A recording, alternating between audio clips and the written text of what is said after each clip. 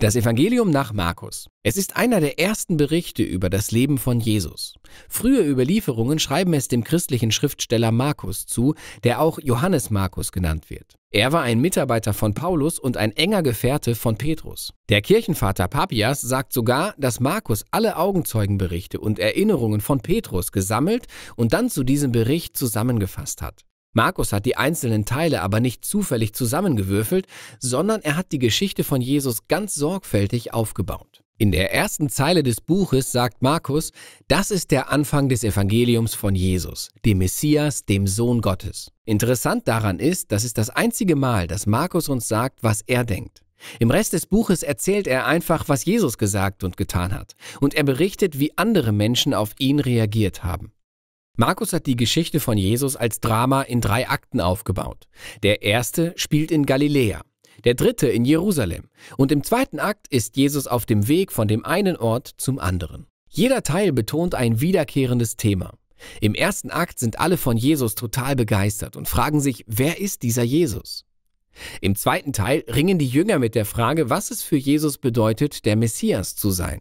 Und im dritten Akt sehen wir die überraschende Art und Weise, wie Jesus zum messianischen König wird. Lasst uns in das Evangelium eintauchen und sehen, wie sich das alles entwickelt. Nach dem Einleitungssatz zitiert Markus die Propheten Jesaja und Maleachi. Sie kündigten an, dass Gott einen Boten nach Israel senden wird. Er soll Israel darauf vorbereiten, dass Gott selbst kommen wird, um sein Volk zu retten und ihr König zu werden. Markus stellt uns Johannes den Täufer als diesen Boten vor. Und dann, als man gerade erwartet, dass Gott höchstpersönlich auftauchen wird, betritt Jesus die Bühne. Der Himmel öffnet sich, Gottes Geist kommt auf Jesus herab und Gott spricht, du bist mein geliebter Sohn. Danach präsentiert uns Markus die Zusammenfassung von Jesu Kernbotschaft. Jesus zieht durch Galiläa und verkündet die gute Botschaft, dass Gottes Reich nahe gekommen ist. Jesus führt also die Geschichte des Alten Testaments weiter. Gottes Rettungsmission für seine Welt. Durch Jesus stellt Gott seine Herrschaft über die Welt wieder her, indem er das Böse konfrontiert und dessen Macht über die Menschen besiegt. Und dann lädt Jesus Menschen ein, unter seiner Herrschaft zu leben, indem sie ihm nachfolgen. Danach finden wir eine ganze Reihe von Geschichten. Sie zeigen uns die Vollmacht von Jesus und wie er Gottes Königreich zu den Menschen bringt. Er heilt Menschen, die krank sind oder die von dunklen Mächten beherrscht werden. Und er tut sogar etwas, das aus Sicht eines Juden nur Gott tun darf. Er vergibt Sünden. All diese Taten bewirken viele verschiedene Reaktionen. Einige Menschen folgen Jesus und werden seine Jünger. Andere wissen nicht, was sie denken sollen. Und wieder andere lehnen ihn komplett ab, vor allem die Leiter Israels. Sie werfen ihm Gotteslästerung vor und dass er seine Kraft von dunklen Mächten erhält. Aber Jesus ist von diesen Reaktionen nicht überrascht. Er lenkt sogar die Aufmerksamkeit darauf. In Kapitel 4 hat Markus Gleichnisse zusammengestellt, die zeigen, wie geheimnisvoll und verborgen Gottes Reich ist. Jesus vergleicht seine Botschaft mit Saatkörnern, die auf verschiedene Böden fallen. Manche nehmen den Samen auf, andere nicht. Oder das Königreich Gottes wird mit einem kleinen Senfkorn verglichen. Es ist winzig und erscheint unbedeutend, wird dann aber überraschend groß. Jesus will damit sagen, dass er wirklich der Messias ist, der Gottes Königreich bringt. Auch wenn es anders aussieht, als es alle erwartet haben. Die Verwirrung über Jesus wird immer größer, was Markus am Ende des ersten Teils zu einem Schlüsselgedanken führt. Sogar die Jünger von Jesus sind verwirrt. Und sogar sie ringen darum zu begreifen, wer Jesus wirklich ist. Das bringt uns zum zweiten Akt. Er beginnt mit einem sehr wichtigen Gespräch. Jesus nimmt seine Jünger zur Seite und fragt, für wen haltet ihr mich? Und Petrus antwortet, du bist der Messias. Aber es wird schnell klar, dass Petrus an einen militärisch erfolgreichen König denkt. Der Nachkomme von David, der Israel von den Römern befreien wird. Aber für Jesus ist der Messias in erster Linie der leidende und dienende König, der in Jesaja 53 beschrieben wird. Er richtet Gottes Herrschaft auf, indem er sein Leben in Jerusalem opfert. Aber die Jünger verstehen es nicht. Sie denken, Jesus dem König zu folgen bringt ihnen Ruhm, Ansehen und Einfluss.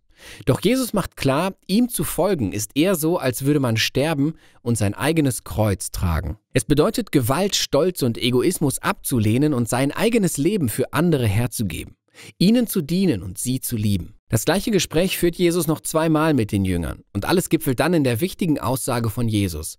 Der Menschensohn ist nicht gekommen, um sich dienen zu lassen, sondern um zu dienen und sein Leben als Lösegeld für viele hinzugeben. Die Jünger verstehen es aber immer noch nicht und reagieren verwirrt und ängstlich. Und so erzählt Markus im zweiten Teil eine Geschichte, die an den Anfang des Buches erinnert. Jesus nimmt drei der Jünger mit auf einen Berg und wird plötzlich völlig verändert. Er erstrahlt in hellem Licht und herrlicher Schönheit und eine Wolke hüllt sie ein. Das erinnert sehr daran, wie Gott in seiner Herrlichkeit dem Volk Israel am Berg Sinai begegnet ist. Und dann erscheinen noch zwei Propheten neben Jesus, die früher am Berg Sinai in Gottes Gegenwart waren, Mose und Elia. Und Gott sagt noch einmal, das ist mein geliebter Sohn. Markus erzählt diese Geschichte bewusst zwischen all den Gesprächen aus dem zweiten Akt und stellt die unglaubliche Behauptung auf, dass Jesus, der Sohn Gottes, die Herrlichkeit Gottes in Fleisch und Blut ist. Und Jesus, der herrliche Gott Israels, wird König werden, indem er für die Sünden seines eigenen Volkes leidet und stirbt. Es ist eine rätselhafte Aussage, die die Jünger noch mehr verwirrt und verängstigt, als sie den Berg verlassen, was uns zum dritten Akt führt. Am Passafest zieht Jesus wie ein König öffentlich in Jerusalem ein. Die Menschen jubeln ihm als Messias zu. Dann betritt er den Tempelhof und offenbart seine königliche Autorität, indem er die Diebe und Gauner aus dem Tempel vertreibt, sodass sogar die Opfer eingestellt werden müssen. Das löst eine Diskussion aus, die eine ganze Woche lang dauert und in der Jesus die Leiter Israels für ihre Heuchelei verurteilt, woraufhin sie planen, ihn zu töten. Jesus warnt seine Jünger und prophezeit ihnen, dass Jerusalem und der Tempel noch in dieser Generation zerstört werden. Und er sagt ihnen auch, dass seine Nachfolger genau wie er selbst verfolgt werden, bis er wiederkommen und Gottes Königreich auf der ganzen Welt aufrichten wird. Das alles führt zum letzten Abend, an dem Jesus das letzte Passamahl mit seinen Jüngern feiert. Eine Mahlzeit voller Symbole. Jesus erzählt die Geschichte, wie Israel durch den Tod des Passalammes aus der Sklaverei befreit wurde. Jesus nimmt diese Symbole und gibt ihnen eine neue Bedeutung. Sie stehen für die Befreiung von Sünde und Tod, die der dienende und leidende Messias durch sein Sterben erreichen wird. Ab hier geht alles sehr schnell.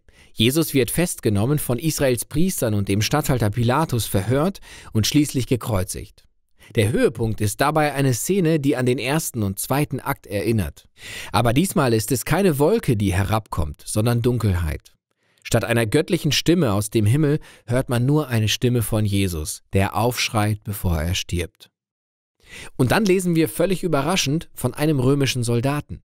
Als er Jesus sterben sieht, versteht und bekennt er, dieser Mann war wirklich Gottes Sohn. Er ist der Erste in der Geschichte, der die schockierende Wahrheit über die Identität von Jesus erkennt, nämlich, dass er der gekreuzigte Sohn Gottes ist, der Messias, Jesus von Nazareth, der für seine Freunde und auch seine Feinde starb. Danach wird der Körper von Jesus in ein Grab gelegt. Am ersten Tag der neuen Woche kommen zwei seiner Jüngerinnen zum Grab und entdecken, dass es leer ist. Der Stein ist weggerollt. Ein Engel teilt ihnen mit, dass Jesus nicht mehr hier ist, sondern dass er von den Toten auferstanden ist. Dann fordert er sie auf, zu den anderen Jüngern zu gehen und ihnen die gute Nachricht zu erzählen, dass Jesus lebt und er sie in Galiläa treffen wird. Die Frauen sind völlig erschrocken. Markus beschreibt, dass sie zitternd vor Entsetzen vom Grab weglaufen und aus lauter Angst niemandem davon erzählen. Und so endet das Buch.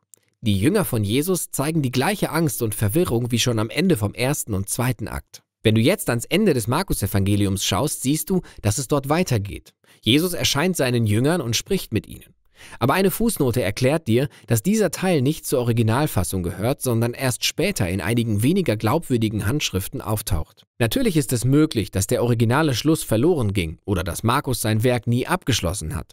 Doch es ist wahrscheinlicher, dass das abrupte Ende beabsichtigt ist, um uns etwas klarzumachen. Die ganze Zeit geht es um die erschütternde Aussage, die die Jünger von Anfang bis Ende verwirrte.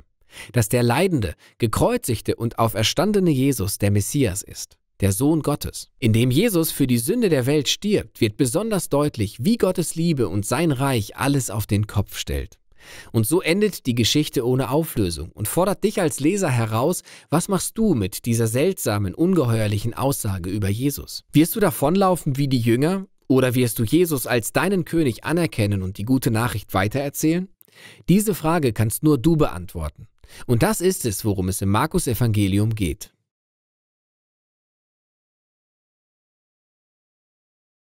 Wir glauben, dass sich ein roter Faden durch die gesamte Bibel zieht. Und wir machen Videos wie dieses, um dir zu helfen, den Aufbau und die Kernaussage eines Buchs besser zu verstehen. Das ist nur möglich, weil Menschen das Projekt unterstützen. Wenn du mehr darüber wissen willst, dir dieses Video und das dazu passende Plakat kostenlos herunterladen möchtest, dann besuche unsere Website www.dasbibelprojekt.de.